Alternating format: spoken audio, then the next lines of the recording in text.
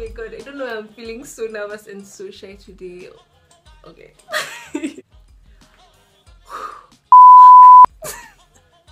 Do you ever find yourself running late or procrastinating because you're lazy?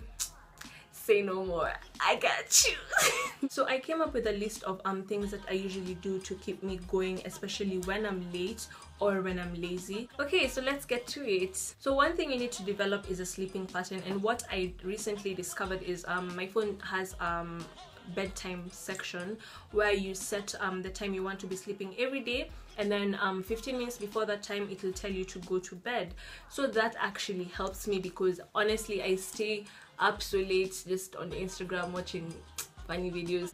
So yeah I think um, having a certain bedtime will actually make you make your day more fast because you won't sleep late and you will actually wake up early because you've had enough time to rest. Another tip if you're running late would be to change your showering time yeah? So if you if you've woken up at 10 and your class is at 11 bruh there's no time to shower there there's no time to shower. So what you should be doing is make sure you shower at night or if you have a bathtub if you want to like you know relax deep slow take it easy do your do your things in the night yeah? Make sure you shower so long at night. You brush yourself so well like you just go in with a shower at night so that when it comes to morning time you just go over it quickly. You don't have to take so much time in the shower. Another thing that has literally saved my life over the over my time in uni is planning my clothes the night before.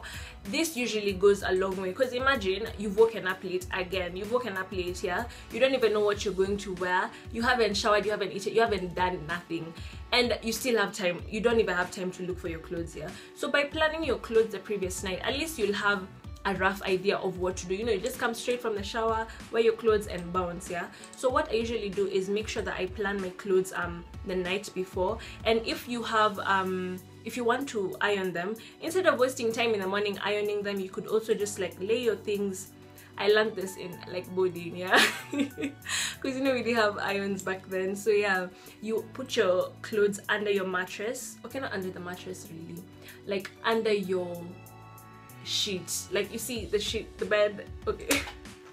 You put your clothes under the bed and then sleep on them. So by the time you're waking up in the morning your clothes are literally so flat and so smooth no creases and that will actually save you time even save you money man. Instead of wasting there your electricity and tokens there just put your clothes under the bed the previous night so that when you wake up in the morning you just when you're making your bed you just grab your clothes wear them and bounce you know it saves a lot of time. So after you're done with your showering and your clothes of course you're gonna want to do your makeup do some you know beat your face a little. But then in the morning if you are running late there's no time to now start looking for your makeup all of it is in like that big bag of makeup brushes. You can't even find anything that you need. So one thing i discovered is that i have a small um i usually have a small um bag. I don't have it right now but i have a small bag where i put like the necessities like my eyebrow pencil my mascara and my powder and my moisturizer.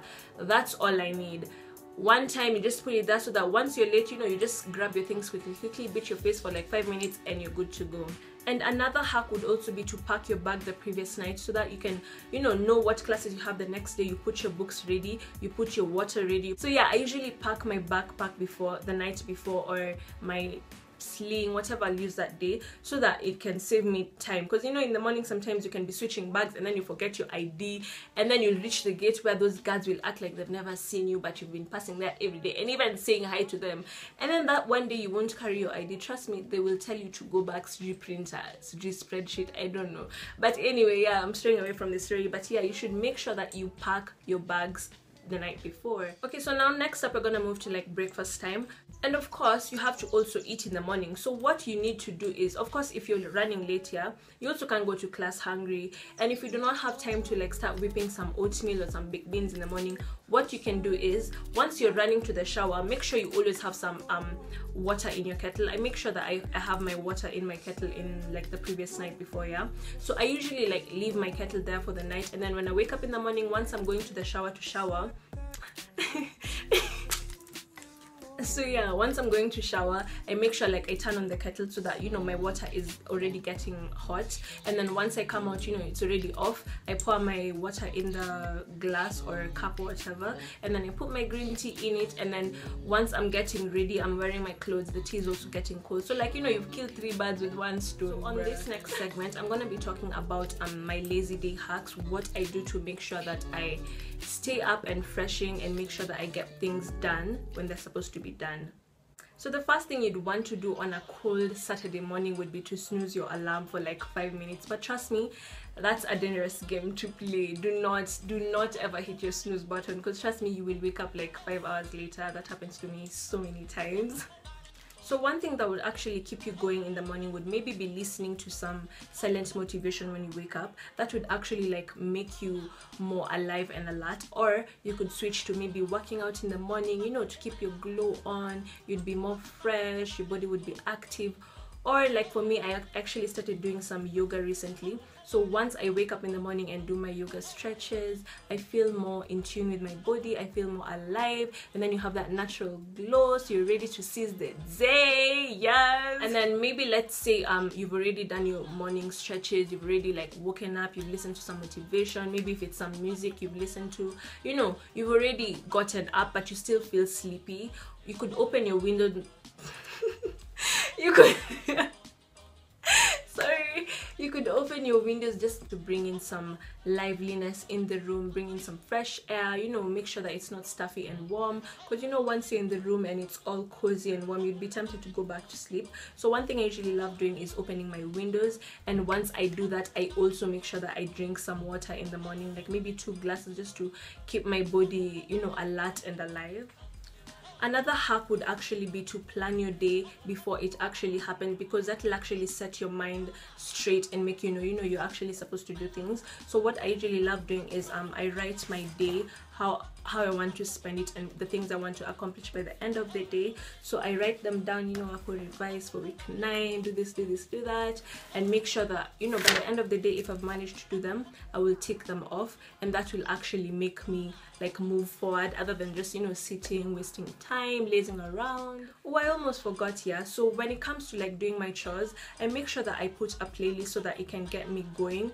so that once I'm cleaning, you know, it's not, you don't want it to be so boring, because once it's so quiet you're just there washing dishes mopping you'll feel you you'll feel tempted to you know go to your phone go to snapchat a little text a little and then time will just go and you won't have done anything. So one thing that usually helps me is making sure that i have a playlist to like sing along to and dance along to and it makes me like get my work done faster. This last hack actually saves me so much time because um usually when i'm let's say i'm doing my assignments here and my phone is there on of course i'll get distracted by the notifications. I want to maybe take a snap do this do this. So one one thing that I usually do is make sure I turn off my Wi-Fi, I turn off my phone. Okay, not turn it off completely, but I put it on airplane mode so that it'll be dead for like a while. No notifications will come through. So I will actually have time to sit down and complete what I need to and that usually helps me. come to the end of this video. I hope you guys enjoyed it. Do not forget to subscribe and I'll see you guys on my next video. Bye!